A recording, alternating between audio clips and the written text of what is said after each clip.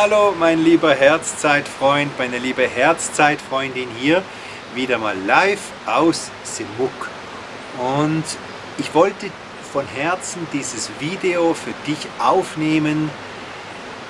Warum sollte es so natürlich sein, wieder diesen göttlichen Teil in uns, dieses Lichtwesen, diesen Spirit zu leben und zwar im Alltag?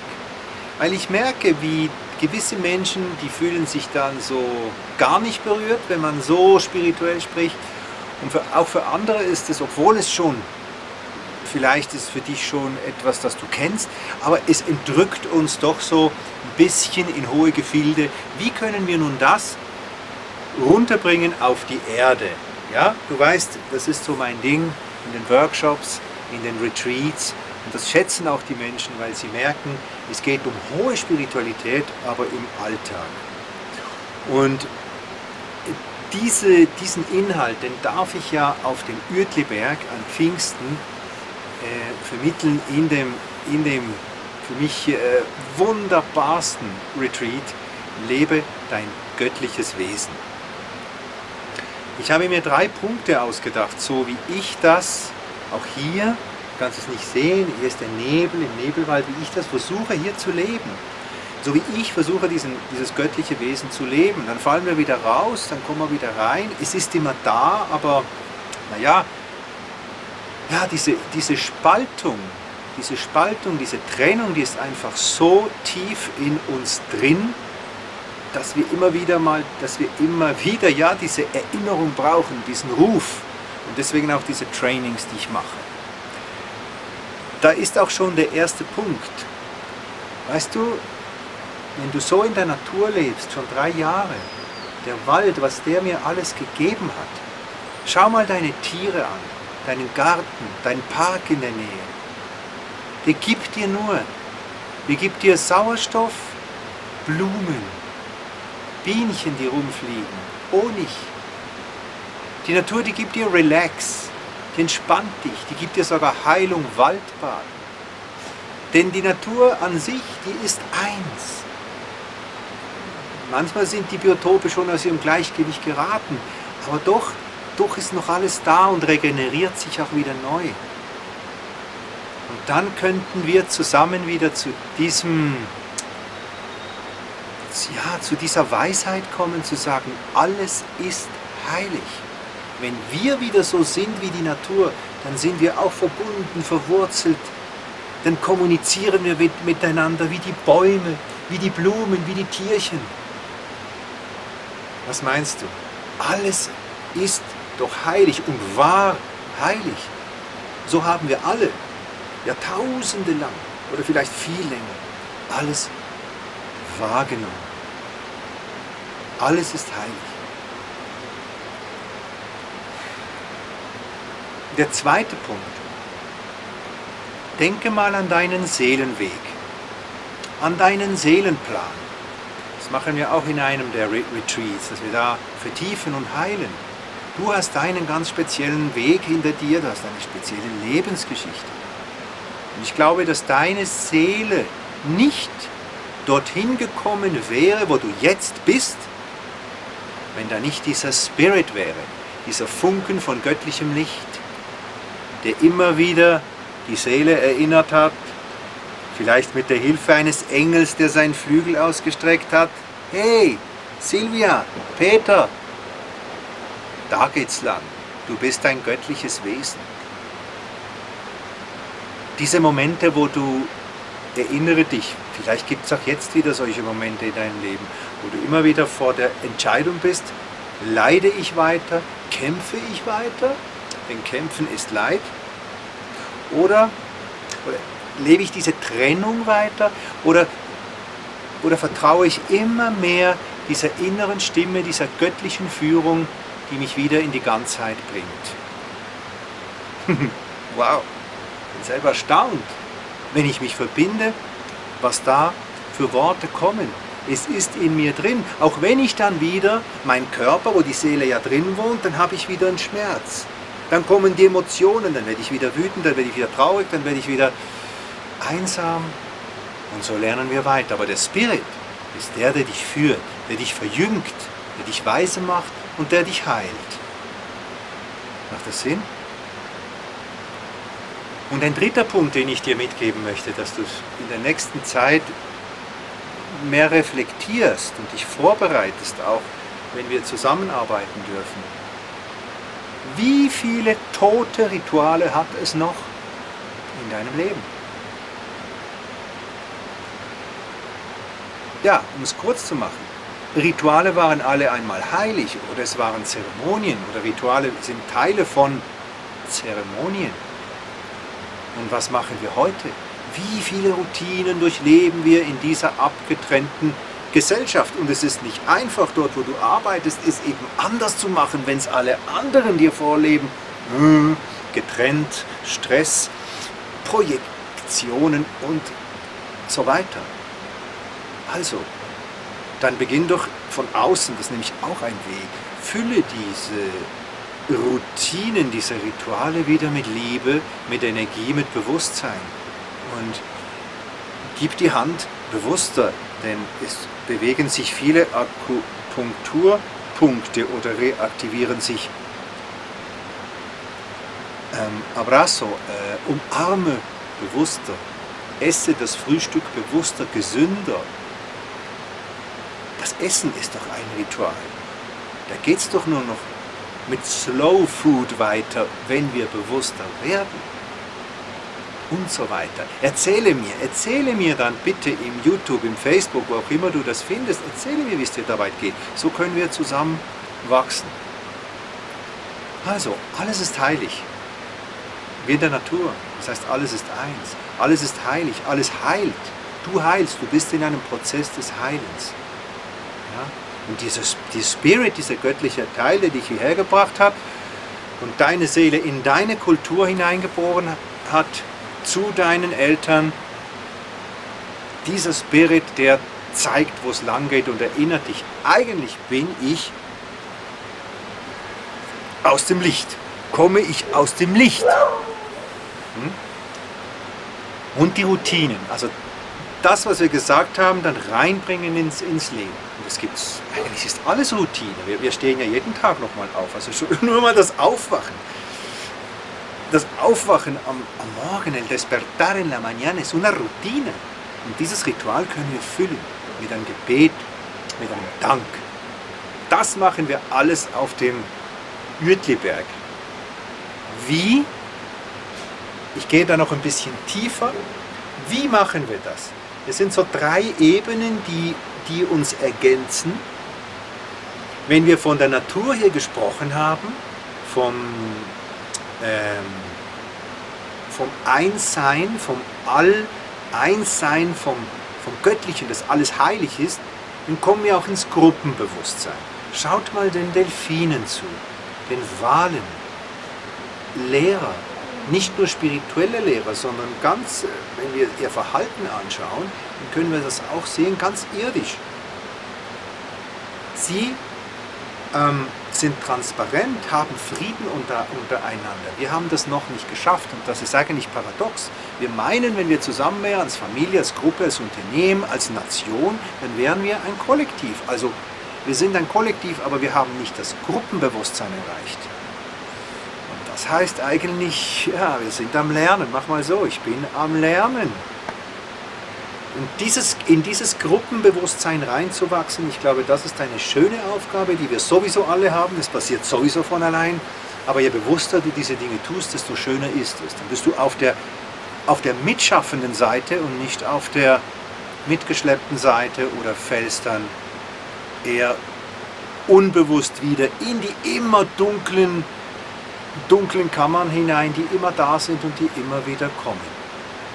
Also Gruppenbewusstsein, so wie die Tiere miteinander kommunizieren, nicht nur die Delfine, auch die Vögel, wenn sie in einem Schwarm fliegen. In der Forschung heißt, was darunter liegt, Hyperkommunikation. Und da gehen wir rein, auch mit schamanischen Übungen, mit neurophysiologischen Übungen. Wo findet die, Neuro, äh, die Hyperkommunikation statt? in den Zellen, in den Genen, im Ad, in den ADNs drin. Sagen wir, wir schaffen es, von, vom Ego mehr in diese Gruppe zu kommen. Ihr wisst, in dieses Gruppenbewusstsein zu kommen. Ihr wisst, ich spreche immer viel von Gruppenheilung, von, von Gruppen, vom, vom kollektiven Heilen, genau. Bei der heiligen Ottilie haben wir viel darüber gesprochen. Wenn wir das schaffen, dann, dann ist dein Bewusstsein ein anderes. Und das geht parallel mit dem, was die Mayas und viele alte Völker, dieses Aufschreiten, dieses, dieses Emporgehen auf der Leiter deines Bewusstseins, ähm, das geht dem, dem einher. Stell dir mal vor, du bist eine alte Maya-Frau oder eine alte Druidin. Es, ist, es gibt überall diese Parallelen in den alten Kulturen. Du, und du gehst einen Tempel hoch oder die neun Stufen einer Pyramide. Oft haben die nämlich neun Stufen. In Palenque auch, mein Herr, in meinem Herztempel. Ich möchte das noch so erklären, dass, dass, du, dass du dir vielleicht vorstellen kannst, du beginnst beim Ich. Ich ist für viele Ego. Ja? Ich heißt aber auch Gnoti Seauton. Ich lerne mich besser kennen, meinen Körper, meine Seele und so weiter. Also da ist schon ein ganzes Universum da, das Ich. Und dann kommt dieses Modemantra der Mayas, das das oft in einem viel zu kleinen Umfang nur ver verstanden wird, in Lakesh, ich bin du. Das heißt auch, du bist in meinem Herzen. Sag es lieber so, weil sonst, ich finde, man versteht so besser. Du bist in meinem Herzen. Wenn ich jetzt mit dir spreche, ich spüre dich hier. Ich liebe dich, kann ich dann sagen. In Lakesh. Und was macht das? Dann ist plötzlich ein Spiegel da un espejo, un etzna. Und wir sind zwei. Und dann sind wir drei. Dann sind wir mehr, dann kommen wir ins Kollektiv. Und so gehst du die Stufen rauf auf der Pyramide. Und so kommen wir dann, ich kürze es jetzt ab, zum solaren Bewusstsein der alten Hochkulturen wie der Mayas oder bis zum kosmischen Bewusstsein. Da ist deine Aufgabe wiederum, wie komme ich vom Konzept weg oder vom kurzen Meditieren und wow, ich reise zu den Sternen. Wie komme ich weg, dass es nur das ist und gehe dorthin, dass ich das leben kann. Immer wieder und immer mehr. Und auch wenn ich dann wieder fünf Stunden im Büro bin und mit einem Anwalt zu tun habe und die Steuerrechnung machen muss, komme ich immer wieder mehr dorthin. Wie, das werden wir eben sehen in dem Training, weil dafür ist es ja da. Und die, die mich noch nicht kennen, es geht bei mir wenig um Theorie, also so wie ich jetzt spreche, immer mal ein bisschen, aber es geht immer um das Erleben, dass in deinen Zellen, in deinen Lichtkörpern etwas geschieht, sich verankert und bleibt, auf das du es im Alltag leben kannst. Also wir hatten das Gruppenbewusstsein, wir hatten die die Bewusstseinsstufen, die wir erklimmen dürfen, immer mehr. Du, wirst es, du spürst es, du lebst es und dann kommt etwas ganz Faszinierendes, was ich lange Zeit für mich behalten habe. Es ist eine, ein uraltes Maya-Wissen, es ist ein uraltes Wissen der Sternenbrüder, es geht um die Lichtsprache. Was ist das? Sie findet statt wo? auch in den Zellen, in den Genen, in, in der ADN, in, der mehrfach, in diesen mehrfach verwirbelten Quetzalcoatl-Strängen. Es ist eine uralte Form, wie wir schon immer kommuniziert haben, aber wir haben es vergessen. Mir kommt jetzt, weil ich vorher vom Hyperkommunizieren gesprochen habe, es ist ein weiterer Schritt des Hyperkommunizierens, wo das menschliche Bewusstsein, dein, jetzt als Mensch gesprochen, dieses geniale Vorstellungsvermögen, was wir hier in der Vorderseite haben, zum Ausdruck kommt. Du brauchst in Imagination Formen, Töne, Farben. Man kann auch mit Gesten arbeiten, aber es sind andere Gesten als im als im normalen Sprechen. Also es ist eigentlich stumm, es, es kann stumm sein, Es sind eher dann Laute, aber es sind nicht die normalen Worte und es sind auch nicht die normalen Gesten. Ja? Und damit, damit sprechen, drücken wir auf uns auf hohen Frequenzebenen aus. Ich gebe auch dieses Wissen weiter über, über, eine, über eine, ein, ein Großteil, wie auch beim unsichtbaren Heiler, geht über, nicht über das Sprechen, sondern über die Transmission, wie sagt man das? Einfach das Weitergeben über die Energie von Lichtkörper zu Lichtkörper. Wenn du je schon mal auf Reisen mit anderen Wesen zusammen warst, dann kannst du dir vorstellen, dass sie genau so sprechen. Das haben mir die Mayas auch so langsam beigebracht und das wird ganz, ganz spannend. Das ist so heilig, das ist so wunderbar, das wird dein Leben verändern. Ja, das ist für mich die Antwort, warum wir auf den Uertliberg gehen sollten an Pfingsten. Vom, ist da runtergefallen, vom 29. bis zum 31. Mai. Am Pfingsten von Freitag bis Sonntag, Freitag bis Sonntag. Alle Info, du weißt, s-herz-zeit.com. Neue Webseite pascalkingreu.de. Da ist noch viel zu tun, aber kannst ja mal reinschauen. Ja, und ich habe ein Facebook Live gemacht, äh, auch kannst du mal suchen im, im, Facebook, mehr über den Uertleberg, wo ich von klein auf da war. Und mir, mir kam, dass dieser Berg viel Liebe, viel Licht braucht. Es ist ein Lichtberg, es ist der Olymp der Schweiz vielleicht sogar. Es ist der Hausberg Zürichs, aber er hat sehr viel Potenzial mehr als das Hotel und das, was alles dort ist. Und da werden wir auch zusammen eine kollektive Heilung machen, die dann wieder ausstrahlt und zurückkommt. Und wir werden viele Geschenke bekommen, die uns genau so arbeiten lassen. Im Wald, im Sonnenbühl, bei der, bei der lieben Jacqueline, die, die das betreut dort. Das ist wunderbar. Sie hat diesen Ort bekommen und ja, die Magie im Wald, die Zeremonien mit Feuer, ich habe es erleben dürfen. Es ist so magic. Und genau neben dieser Megastadt Zürich, also ich meine Finanzplatz, äh, Wirtschaft, Geld, ähm, eine, eine zivilisierte Gesellschaft wie die, wie die schweizerische, ja, daneben wieder das leben dürfen, dort Tibet verankern, Maya verankern, die Olmeken verankern, die alten Kelten, Merlin, Avalon verankern. All das, was wir machen, sichtbar und unsichtbar. Wow, ich freue mich. Ich freue mich so. Wenn es dich anspricht, gib es weiter. Es würde mich sehr freuen. Schreibe auch deine Kommentare. Was hat es mit dir gemacht? Ich bin immer für dich da. Frage auch bitte. Und wenn es dich angesprochen hat, dann entscheidet euch bitte bald. Wir haben noch zehn Tage bekommen von, äh, vom Ort, dass wir dort die Anmeldungen äh, abgeben dürfen und wir die Anzahlung leisten dürfen. Ich kann es nicht vorstrecken, es ist unmöglich mit dem, was wir alles hier aufbauen, in diesem wunderschönen Ort hier. Auch dein Zuhause, wo jetzt Volunteers kommen aus Deutschland, hier bist du auch immer willkommen hier im Recinto Natural Semuc, im Natural Pasemuc. Also, wenn es dich anspricht, dann entscheide dich einfach.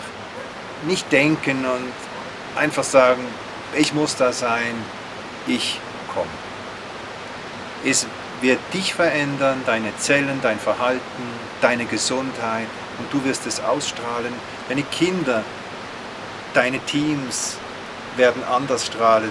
So wird dann diese Chispa, diese Funken so so springen die über und es ist eine kollektive Arbeit für Zürich. Ich fühle mich speziell verpflichtet mit Zürich, weil ich dort geboren bin. Und so, so wird es auch eine kollektive Arbeit und so Gott will, wie wir hier sagen, werden wir dann weiterhin dort arbeiten, so als zweiter Kraftort neben dem Odilienberg, wo wir ja jetzt schon immer wieder sind. Genau. Danke vielmal, dass du da bist. Ich umarme dich und ich hoffe, dass du was mitnimmst, dass dieses göttliche Wesen du immer mehr im Leben, im Alltag verankern kannst.